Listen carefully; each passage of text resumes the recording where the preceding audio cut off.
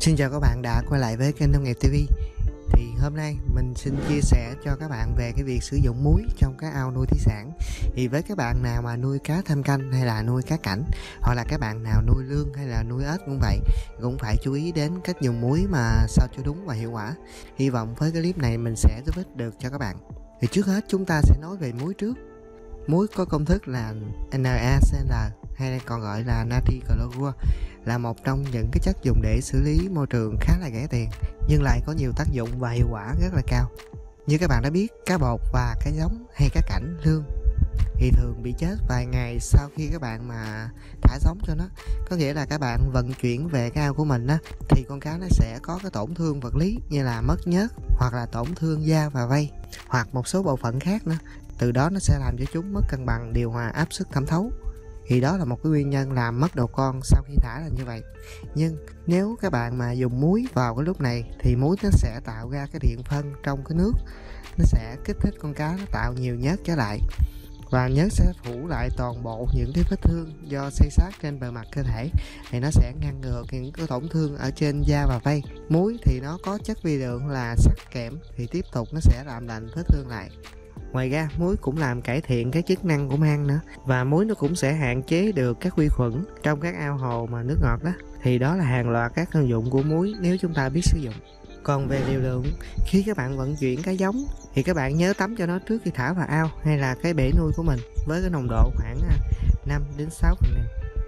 Thì với các bạn nào mà nuôi cá cảnh thì các bạn sẽ thấy con cá nó hay bị nấm lắm hoặc là cái bệnh mà xù vải ở trên cái con cá coi á thì lúc này các bạn có thể dùng à, cái liều muối đó là khoảng một muỗng trà cho 4 lít nước, hoặc là 15 gram muối trên 4 lít nước cũng được đó, thì nó sẽ ngăn chặn được cái bệnh này.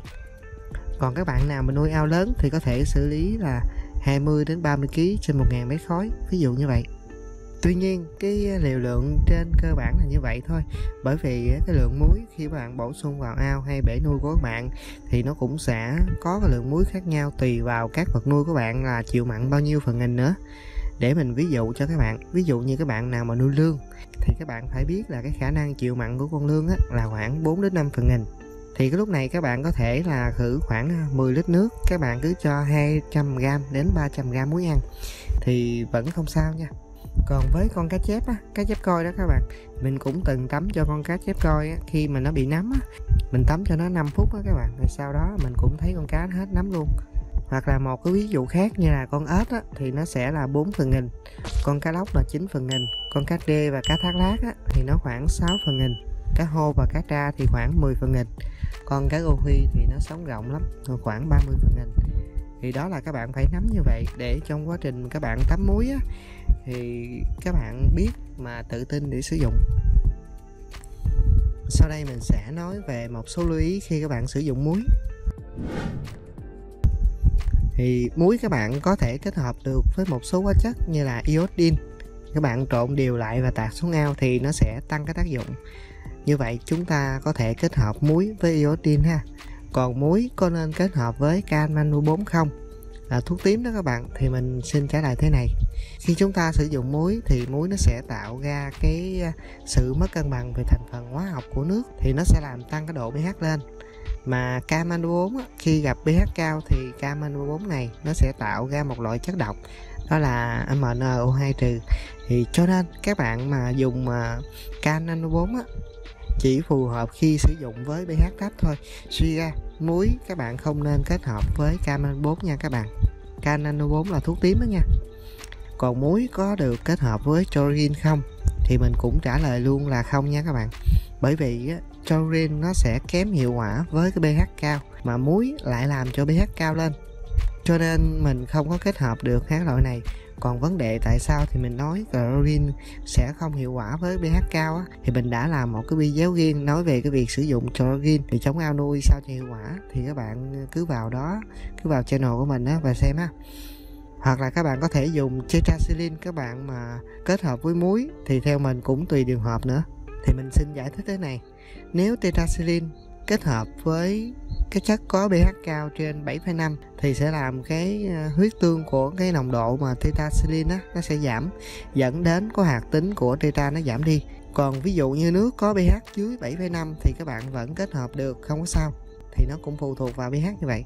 pH cao thì các bạn không nên sử dụng trên 7,5 còn ví dụ như pH dưới 7,5 thì các bạn cứ sử dụng thoải mái. Khi mà tetra nó kết hợp với muối á, thì nó sẽ làm cho con cá làm lành vết thương mau nè nó, nó chống được cái viêm nhiễm cũng như một số vi khuẩn gây bệnh nữa. Nấm nữa các bạn cũng rất là hay. Tetracycline thì nó nó cũng chuyên trị nấm nữa đó thật ra muối nó sẽ làm tăng pH nhưng không có đáng kể lắm. Còn nói về pH cao á, tăng nhanh thì có voi là theo mình thấy là pH nó sẽ tăng nhanh nhất. Còn một số lý khác là muối có một số công dụng rất hữu ích cho các bạn nào mà đang nuôi cá sống hay là cá cảnh, nhưng các bạn cũng không nên xem đây là một cái loại thuốc trị bách bệnh. Bởi vì nếu vật nuôi các bạn mà bị bệnh nặng, ví dụ như bị lở lét sâu hay bị xuất huyết do nhiễm khuẩn nặng á thì muối nó cũng không có cứu chúng được đâu. Vì muối nó cải thiện được một phần nào thôi à. Mà lúc này các bạn phải thay thế bằng các loại hóa chất hoặc là kháng sinh đó, thì các bạn mới cứu những con cá đó được. Còn khi sử dụng muối để tắm cho con cá mà các bạn không biết dùng liều như thế nào là đúng á, thì các bạn cứ cứ dùng khoảng, cái liều khoảng 50% so với cái liều đó thôi. Sau 3 đến 5 phút các bạn quan sát xem coi nó thế nào. Nếu con cá vẫn tốt, vẫn khỏe thì các bạn tiếp tục dùng 50% còn lại á còn trong suốt quá trình tắm cho cá thì các bạn phải luôn luôn là quan sát để mà khi thấy có cái dấu hiệu bất thường á, thì các bạn can thiệp kịp thời bằng cách thay nước mới. Thì các bạn cũng có thể mà sử dụng muối bọt hay là muối hạt thì vẫn được không có gì nha. Muối thì các bạn có thể sử dụng cho tất cả các loại con mà nuôi thủy sản á, đều sử dụng được hết. Các cảnh lương ếch ba ba gì đó các bạn cứ sử dụng còn khi sử dụng muối trong các trang trại thì các bạn phải tránh sử dụng các thiết bị bằng kim loại nha. Ví dụ như là sắt thép rồi nè, vì muối nó sẽ có tính năng mòn rất là cao. Đây là một số lưu ý nhỏ khi các bạn sử dụng muối trong cái nuôi trồng thủy sản là như vậy á. Thì nông nghiệp tv cảm ơn các bạn và hẹn gặp lại các bạn ở một clip khác.